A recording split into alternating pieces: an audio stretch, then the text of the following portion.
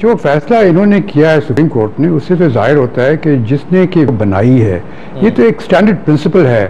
جی، جی۔ قانون شہادت کا کہ جو آثر ہوتا ہے کسی ڈاکیومنٹ کا اس کو پیش ہونا لازمی ہوتا ہے۔ اس ایویڈنس کے ساتھ۔ تو یہاں پر جس نے ویڈیو بنائی ہے اس کو پیش ہونا پڑے گا۔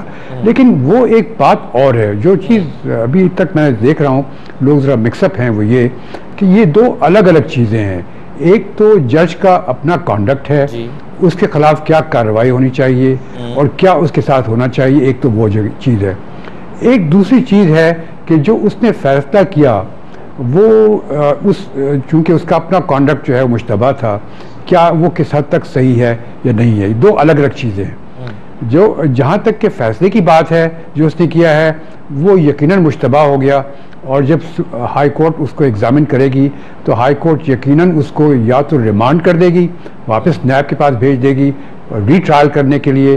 کل عدم کا تو خیر میرے خیال میں گنجائش نظر نہیں آتی، چونکہ جب ایک دفعہ ایویڈنس لیڈ ہو چکی ہے اور فیصلہ ہو چکا ہے، اس کو کل عدم اسی صورت میں کیا جا سکتا ہے جبکہ ایویڈنس جو ہے وہ دوبارہ لی جائے۔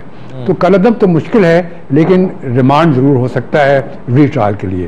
دوسری بات جو آپ کہہ رہے تھے جو اس کا اپنا کانڈکٹ ہے میرے خیال میں اس میں نہ نواز شریف کو انٹرسٹ ہے نہ مریم نواز کو انٹرسٹ ہے کہ اس جج کے ساتھ کیا ہوتا ہے۔ نہ وہ اس کے لیے کوئی خاص کارروائی کریں گے۔ وہ بات جو چاہتی تھی وہ اسٹیبلش ہو گیا۔ یعنی اس کا جج کا کانڈکٹ مشتبہ ہو گیا۔ جی۔ اب اگر سپریم کورٹ دوبارہ اس کو دیکھنا چاہتی ہے تو یقیناً جس نے کہ ویڈیو بنائی ہے اس کو آنا پڑے گا اور اس کو کہنا پڑے گا کہ میں نے یہ ویڈیو بنائی۔ جی اچھا لیکن اگر عثمان صاحب مجھے یہ بتائیے کہ ہم یہ فرض کر لیں کہ ناصر بٹ صاحب جن کا آپ کہہ رہے ہیں کہ ان کو عدالت میں پیش ہونا ہوگا وہ کہتے ہیں کہ میں پاکستان آ کر کانسیکوینسز فیس نہیں کرنا چاہتا یا میں مزید اس میں اپنا رول پلے نہیں کرنا چاہتا تو کیا کوئی امکان ہے کہ اس کے باوجود اس کو شہادت کے طور پر قبول کر لیا جائے؟ کسی اور پروسیس سے گزار کر؟ دیکھیے جو فیصلہ سپریم کورٹ نے کیا ہے اس کے لحاظ سے تو شاید یہ نہیں ہو سکتا۔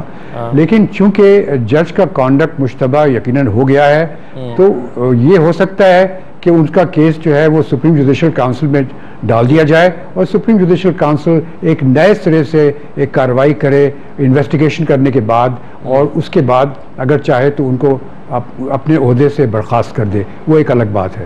لیکن وہ چیز اس کا اس سے تعلق نہیں ہے۔ مین چیز تو اپیل کی بات ہے جو کہ نواز شریف نے کی ہوئی ہے اور اس اپیل میں جو ان کو فائدہ ملنا تھا وہ ان کو مل گیا۔ مین اپیلیں جو لگی ہوئی ہیں اس کیس کی اسلام آباد ہائی کورٹ میں عثمان صاحب، یہ بتائیے کہ کیا اس ویڈیو کا اسی وقت جو موجودہ سٹیٹس ہے، جس میں سپریم کورٹ نے ریفر کر دیا ہے، ہائی کورٹ کی طرف، ایک متعلقہ فورم کی طرف، اور اس کا ابھی سکینڈل کا فیصلہ ہونے سے پہلے موجودہ حالت میں یہ کیس کسی طرح سے مین اپیلوں پر اثر انداز ہو سکتا ہے؟ نہیں دیکھیے اس کا فیصلہ ہونے کے بعد ہی کچھ ہو سکتا ہے میں تو اس اپیل کی بات کر رہا ہوں جو کہ العزیزہ کیس کے اوپر جو جی۔ اپیل فائل کی گئی تھی جی۔ نواز شریف کی طرف سے جی۔ جو کہ ابھی پینڈنگ ہے ہیئرنگ۔ کے لیے۔ میں اس کی بات کر رہا ہوں۔ اور اس میں یقیناً نواز شریف سائڈ کو فائدہ ہوگا اور وہ جج کا کانڈکٹ دکھا کر کے وہ اس کو یا ریمانڈ کروا سکیں گے۔ کلرم تو نہیں. ریمانڈ تو یقیناً کروا سکیں گے ٹھیک